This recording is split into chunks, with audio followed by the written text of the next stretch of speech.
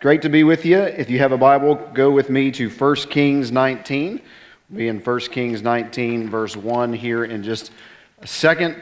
And um, what I want to talk to you about today has been described recently. So, in his uh, book that came out in the last year, Rainn Wilson, who played Dwight on The Office, uh, wrote a book called Soul Boom, where he's looking at this. He's not a Christian, it's not a Christian book, but he's talking about a need for spiritual awakening in America. And in the second chapter of his book, he talks about what he calls uh, a plethora of pandemics that are threatening our country, causing all kinds of grief and heartache. And one of the ones that he mentions is a mental health pandemic. And so I want to talk to you about uh, this mental health pandemic this morning. And this is something that, honestly, especially for your generation, uh, is at a crisis point, honestly. There's a, a picture I think we're going to have that we will we'll put up on the screen. This just came out recently, and what, they, what they've done is they've, they've tracked uh, kind of depressive symptoms among 8th through 12th graders over the last 30 years. So this from 1990 to 2020, right before the pandemic, okay? And what they noticed is almost a doubling effect in depressive symptoms among people your age over the last 30 years with statements like, I can't do anything right, which has doubled, my life is not useful, which has doubled, and I do not enjoy life. And that has um, gone on this massive trajectory up where your generation is struggling with these things. Not only that, but since the pandemic, so since COVID, there's been a 50% rise in mental health ER visits for young people. So a 50% rise in just in the last three years. Now, why, why uh, you know, young people are struggling with, and, and not just young people, but adult, uh, older adults as well, are struggling with these mental health uh, issues and disorders. There's any number of reasons that could contribute to why this is the case. Okay, it could be some painful life experience that you've gone through and you just haven't been able to deal with it and you don't know how to get past it. It could just be something as simple as exhaustion. You're burning the candle at both ends and you, don't get enough sleep. And so, because of that, you're wrestling with these things. It could be something like disappointment. Just my life's not turning out the way that I wanted it to. My relationships aren't turning out the way that I wanted them to. My family's not what I want it to be. And so, disappointment could be a factor. It could be loneliness. Uh, social media has uh, lots of contributing factors to uh, this. It could be something like repressed anger that you have at a parent or uh, a coach or a friend or somebody, an ex girlfriend, ex boyfriend. Uh, it could be sin uh, that you're committing and that you're engaged in. So there's any number of reasons why you might be struggling right now in terms of your mental health. Okay, but what I want to walk through today is some strategies that we can use to try to fight for mental wellness in our lives. Let me just make a couple of caveats here at the beginning before we jump into God's Word. The first one is this we need to distinguish between sadness and depression.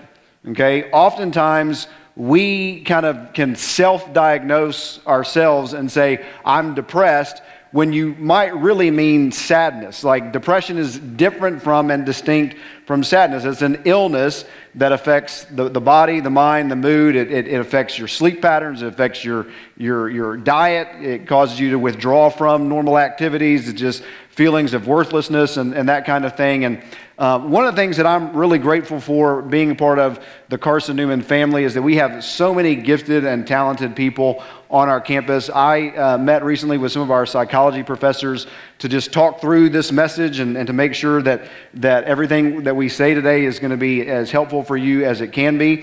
And so, one of the things that, that they helped uh, me with is, is to put together a PDF that we're going to provide for you. There'll be a, a, QR code here on the screen at some point that you can, you can uh, use your camera, click on that, and then it'll have all kinds of resources for you in order to try to help you with this, uh, this issue. Okay? One of the things that you'll see in that PDF are um, just, uh, again, how you might struggle with depression or might be struggling with despair, and like a checklist to tell you if you need to to maybe talk to somebody, if you need to talk to a therapist or you need to go see a doctor, because that's the other thing I want to make very clear is that this may be something where you need to talk to somebody. Uh, you may need to meet with a doctor, and, and people call me Dr. Akin, but I'm not that kind of doctor, okay? And so uh, if you need to meet with somebody, there's a, there's a way you can look on there and see, man, diagnose and say, man, I, I, I probably need to reach out to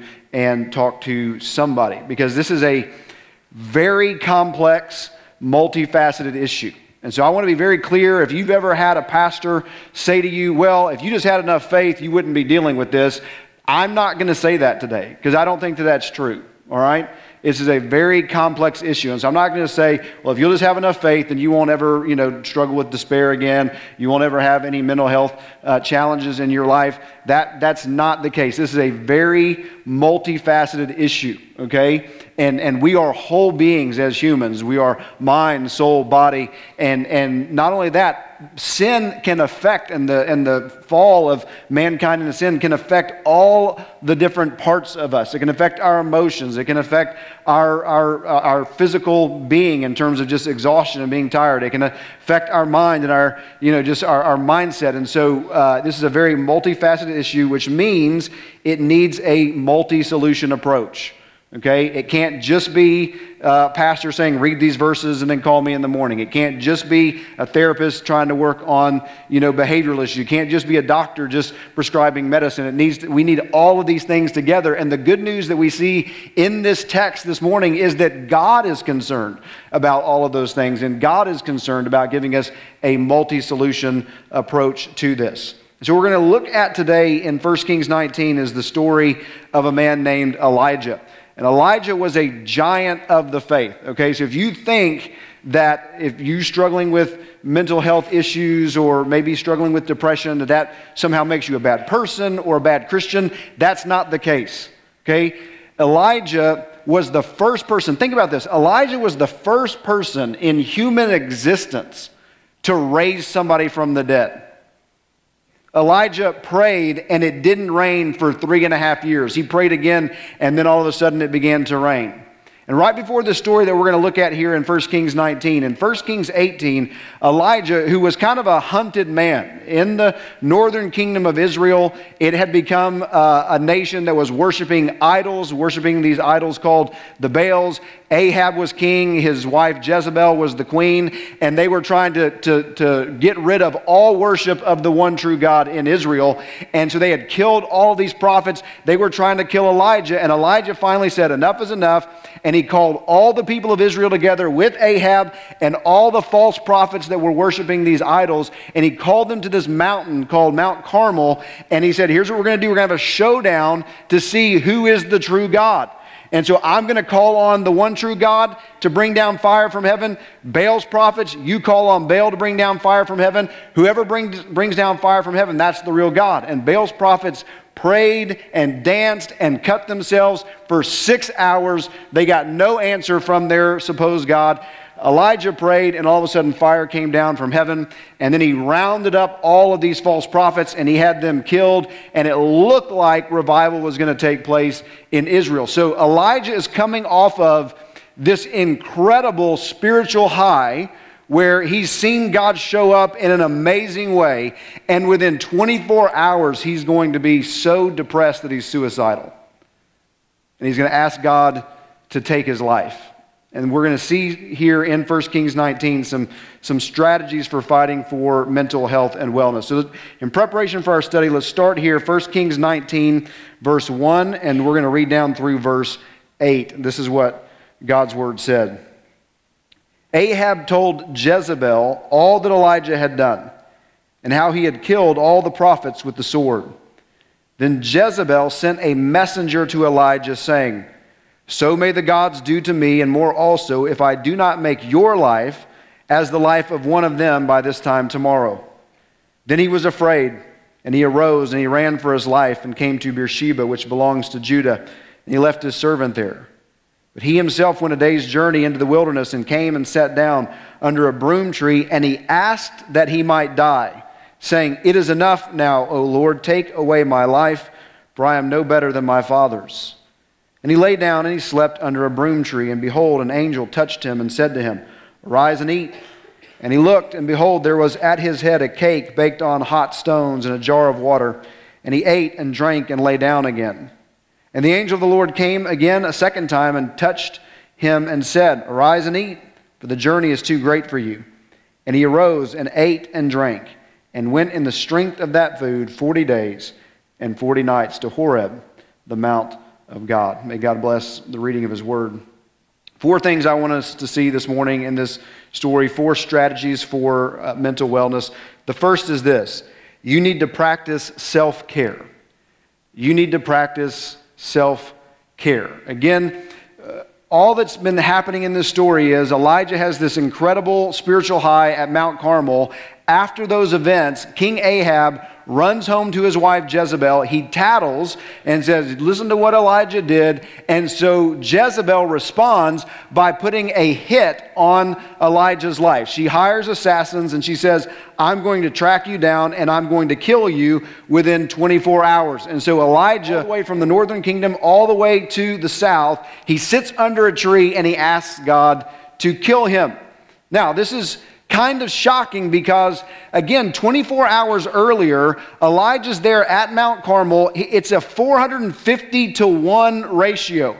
All of these prophets are there. King Ahab is there. They want to kill him, and he's fearless. He's so fearless that when the prophets of Baal are, are crying out to their God and they're not getting an answer with no fire from, from the sky, he starts to mock them. And he says, Hey, listen, ramp it up. Cry out louder. Maybe he's on a trip. Maybe your God has, uh, you know, gone to the bathroom and so he can't answer you. And so just kind of ramp it up, boys. He's so confident. And so you're expecting when he hears that this woman wants to kill him and that she's put out a hit on his life for him to respond, Well, you and what army? I've got God on my side. So, like, I, I don't know what you think you're going to do to me, but I'm not scared of you at all. But the text tells us that he's afraid and he runs away. Now, let me be clear about something. He's not afraid of what Jezebel is going to do to him. Okay? It doesn't make any sense for him to say, I don't want Jezebel to kill me, and then to run away and say, God, kill me. So it's not that he's afraid of death. What we see in the story is what he's afraid of is he's afraid of failure. He's like, this time to give up. I, have given everything that I have to this mission to rid Israel of idolatry, to rid it of false worship. I've given everything I've got, and it hasn't worked, and so I'm out. I want you to take my life away from me. What he's experiencing is very similar to, I know this movie came out a long time ago, uh, but maybe you've seen it. It's on Netflix, and so you can go watch it. But the first Rocky movie, okay, in the first Rocky movie, uh, was about a boxer. Rocky's this, this underdog who's given a shot to face Apollo Creed, who's the champion, never been beaten, never, nobody's ever even gone the distance with him. He's knocked out every opponent that he's ever faced. Rocky's like, all I want to do is just to be able to go the distance. I don't think I can win, but if I can just go the distance, all right? And then Rocky has a little bit more success than people think that he's going to have, and he, he kind of puts up a good fight. But then by the end of the fight, I mean, Creed is just beating the hound out of him. And in the 14th round, like what ends up happening in the 14th round is Creed hits Rocky with an uppercut. He goes down, his legs are gone. He can't stand to his feet at all. He's so badly beaten that his manager in the corner is yelling at him, Stay down, stay down, don't try to get up. And he's just trying to crawl to the ropes and try to get up. Apollo Creed's on the other side in the corner, just with his hands raised. He's celebrating. I finally won. Rocky grabs those ropes and pulls himself up. And then Creed turns around and he sees Rocky, and Rocky's like waving him on, like, come on, bring me some more, bring me some more. And Creed just just drops his head and drops his shoulders, and he's like, I've given this guy everything I have, and I can't knock him out. And that's what Elijah's feeling. He's like, I've, I've given everything I have to this mission, and it's, it's not working. And so, God, I wish that you would kill me. Now, what happens next is the, the graciousness of God because he, he lays down, he takes a nap, and then an angel graciously wakes him up, has cooked him a meal, has him eat, has him drink. He lays down and he takes another nap, and then he eats another meal and he drinks uh, some more, and then he goes 40 days and 40 nights without food, and he goes all the way down into the desert to Mount Horeb, which is Mount Sinai, which is where the people of Israel, when they'd come out of Egypt, met with God, received the Ten Commandments, all of those things. But what happens with Elijah here, again, is very instructive to us. When we're struggling mentally, when we are down, when we're feeling despair, we've got to take care of ourselves.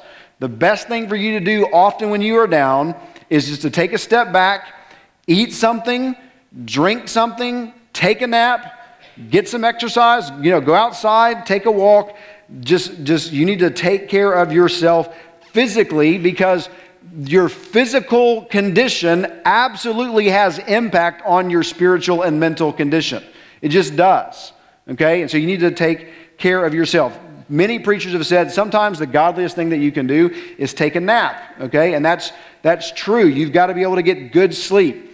One of the things, one of the challenges that you guys have um, at this age is, and, and it, it, just doesn't get any better uh, as you get older, as you, you get married, start families, start jobs, is that sleep Whereas, you know, earlier in life, you could get eight, nine hours of sleep whenever you wanted. Now, all of a sudden, it's like I, I don't get hardly any sleep at all because I'm up late working on term papers or, you know, studying for a test and, and also got to check social media and check the scores and all that kind of stuff. And so, don't get a lot of sleep. And then when you get married and start having kids, you don't get a lot of sleep. And start a job, you don't get a lot of sleep. And so, one of the things that we provide for you um, in that PDF that you're going to see is just some some, some tips on how to get good sleep uh, because it really does uh, you know, make a difference. And so, one of the things that we see in the, um, in the diagnostic manuals when it comes to mental disorders, mental health disorders, is that one of the key signs that you might be struggling and that you might need to reach out to somebody for help is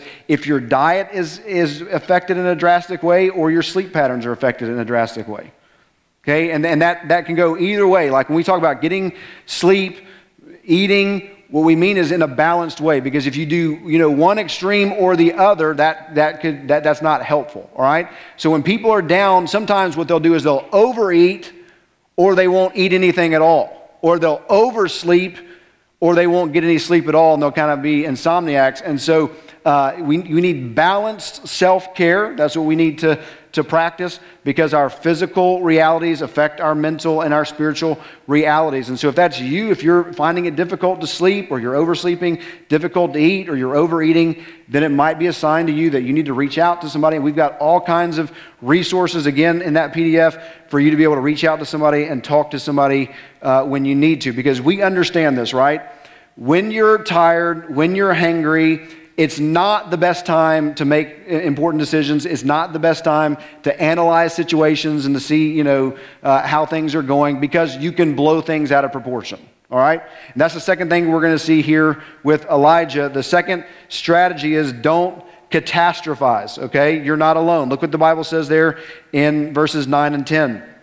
There he came to a cave and he lodged in it, and behold, the word of the Lord came to him, and he said to him, What are you doing here, Elijah?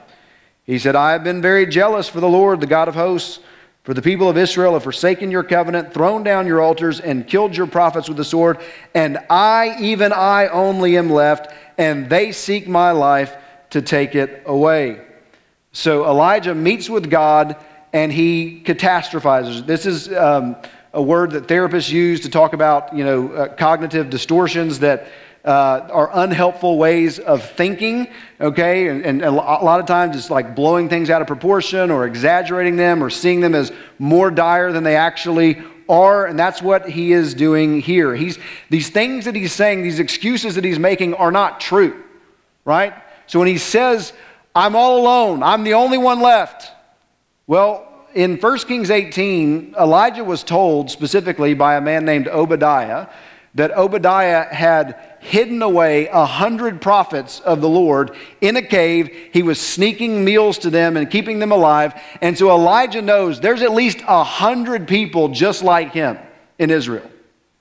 He's going to be told at the end of this chapter by God, there's 7,000 people in Israel who are just like you, who've not worshiped Baal, who've not bowed down to him. And so he's not alone, but he feels that way. He feels alone. Not only that, he says, they're all trying to kill me. They all aren't trying to kill him. One person's trying to kill him. It's Jezebel. But he's blowing everything out of proportion. He's not seeing reality rightly because he is down and he is uh, hurting. And, and oftentimes, when we are down, we see things as more dire than they actually are. We go to worst case scenarios. We start th- saying things like, well, always and never, uh, which is dichotomous thinking. And so it's like we, we do all these things where we're over exaggerating how bad things actually are. And we say things like, I have the worst luck in the world or I can't ever catch a break.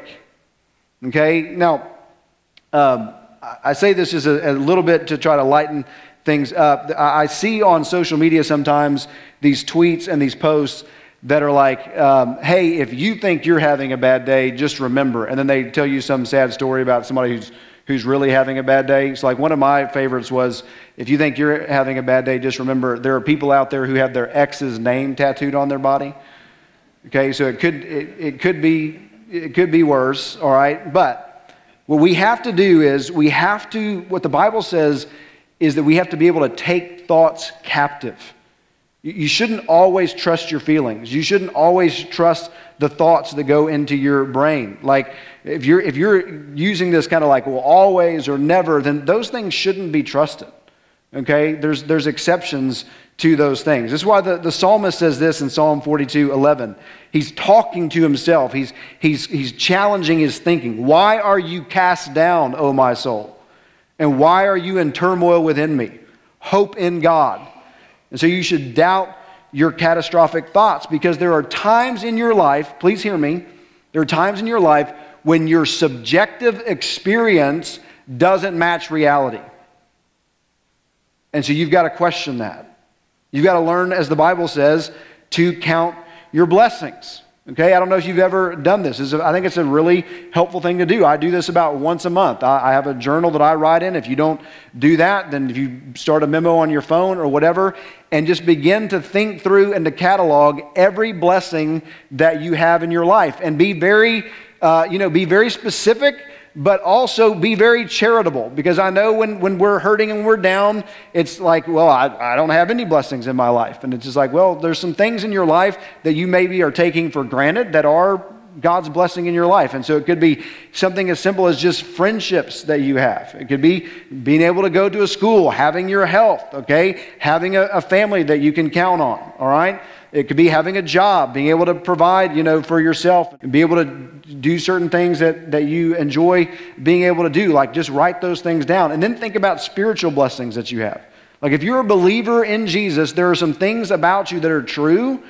Even if you, again, take them for granted or don't see how true they are in the moment, things like if you're a believer in Jesus, then you're part of the family of God. You get to call God Father.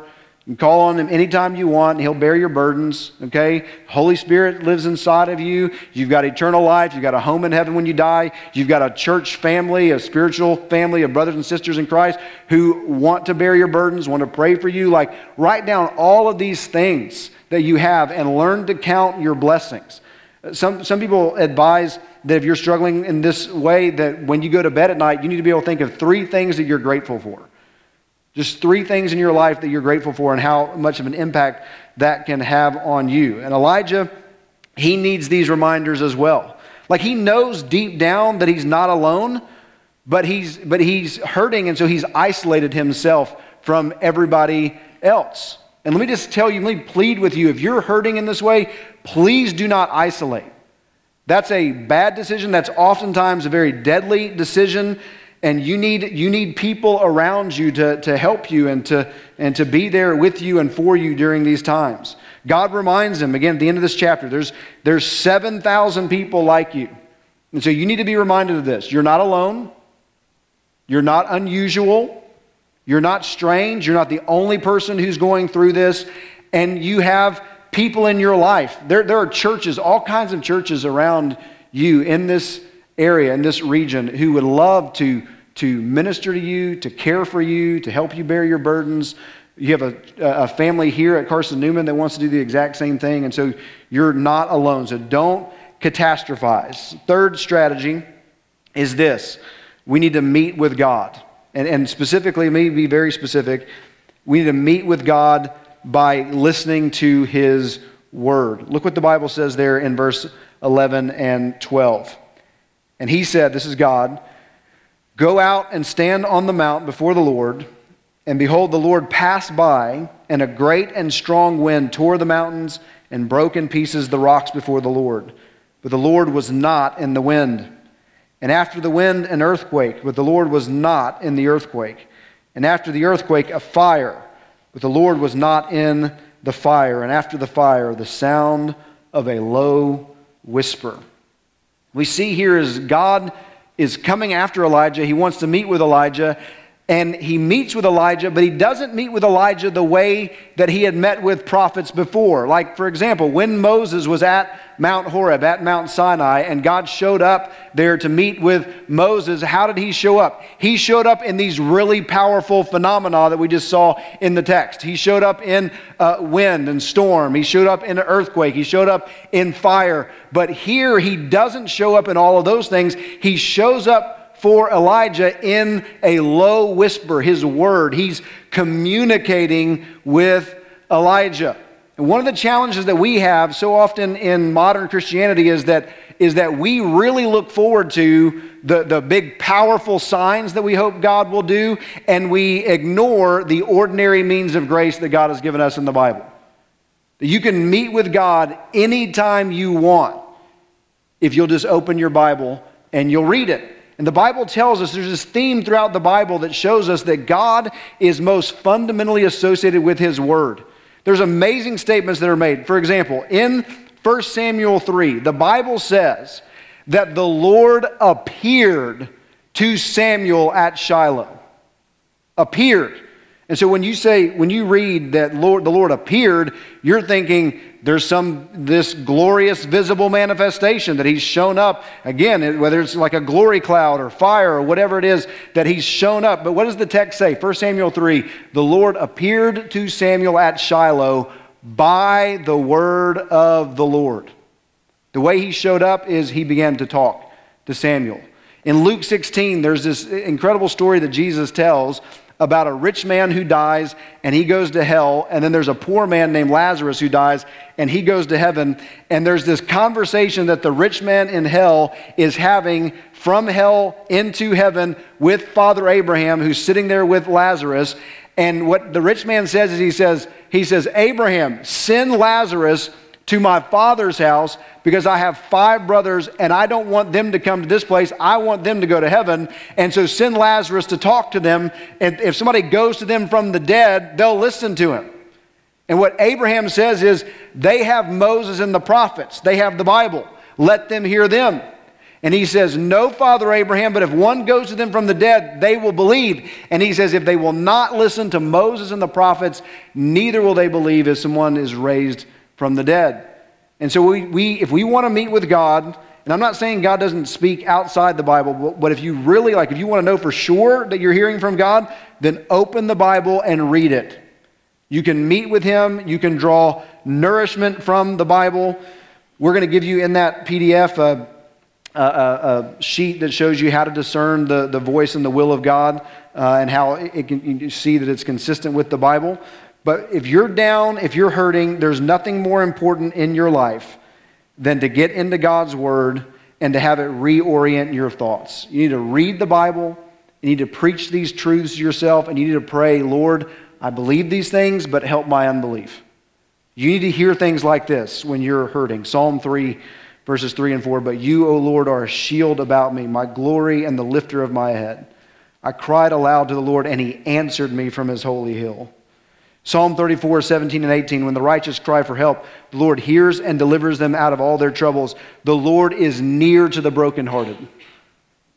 Are you heartbroken? Bible says that the Lord is near you. Psalm 84, 11 and 12. For the Lord God is a sun and shield. He bestows favor and honor. No good thing does he withhold from those who walk uprightly. God doesn't want to withhold anything good from you. You just trust him. So you need to draw nourishment from the Bible. You need to have a Bible by your bedside that you can read. You need to have an app on your phone that you can listen to. If there's videos on YouTube of, of worship songs or sermon jams or whatever that, that bring you encouragement and help you when you're hurting, then have those saved and ready to play when you're down.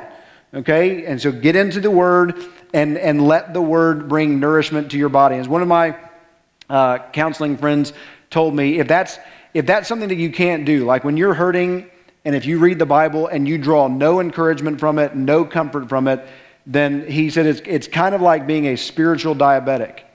In the same way that a physical diabetic can't draw the nutrients that they need from food in order to bring health to their body, if you're not able to, to bring nutrients from the Bible and bring health to your soul, then that's, again, a sign that you might need to reach out to somebody and talk to somebody and say, man, I, I need some help because this isn't bringing me encouragement right now.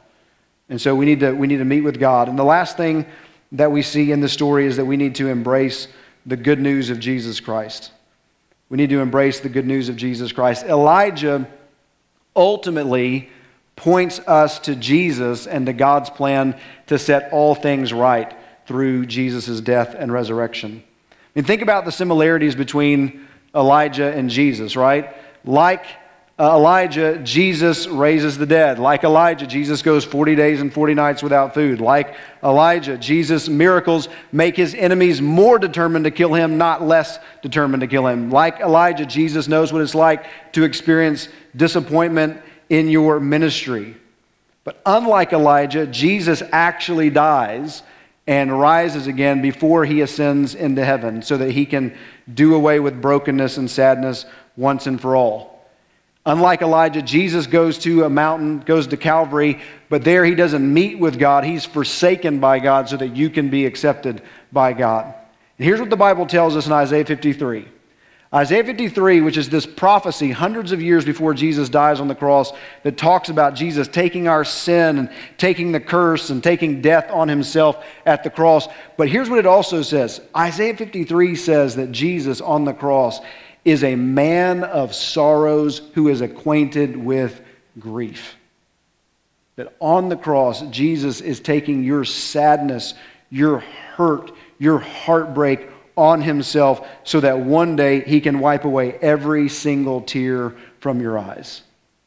So here's what the gospel of Jesus Christ tells you the gospel of Jesus Christ, Christ tells you that God loves you, that God is for you, and that he will never leave you and he will never forsake you.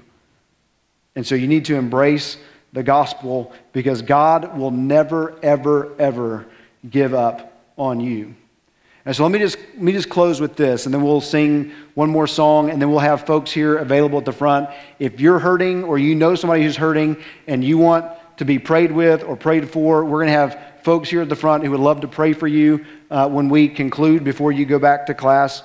But let me just say this as we as we wrap up, and I don't want you know I want everybody to look up here just for a second. I know, you know, you get distracted and, and um, who is this guy and everything, but I, I wanted to say something to you. I, I want you to hear me, okay, before we leave, before you go back to class.